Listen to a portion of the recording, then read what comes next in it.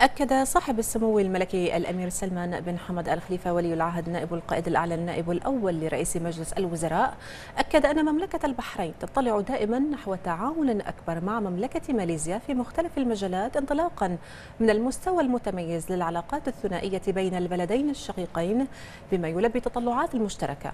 جاء ذلك لدى لقاء سموه حفظه الله في قصر الرفاع اليوم سعادة السيد أجوز سليم بن حاج يوسف. سفير مملكة ماليزيا لدى مملكة البحرين حيث رحب سموه بسعادة السفير الماليزي بمناسبة تعيينه سفيرا لبلاده لدى المملكة.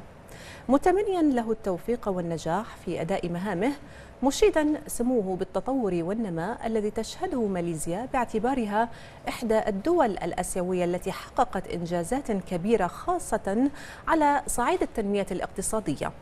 وخلال اللقاء بحث سموه مع السفير الماليزي آخر المستجدات على الصعيدين الإقليمي والدولي والقضايا ذات الاهتمام المشترك.